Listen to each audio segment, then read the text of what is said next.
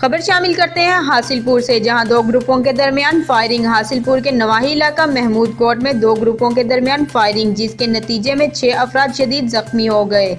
झगड़ा जानवर गुजारने पर हुआ। रेस्क्यू की टीमें मौका पर पहुँच गई। जख्मियों को टीएचक्यू अस्पताल मुंतकिल किया जा रहा है। दोनों ग्रुप्स के दरमियान कई देर तक फायरिंग का तबादला होता रहा। पुलिस की भारी नफरी ने मौका पर पहुंचकर हालात को कंट्रोल किया। एसएचओ कायमपुर का कहना था, मजीद जख्मी अफराद को डी टी एच क्यू मुंतकिल कर रहे हैं।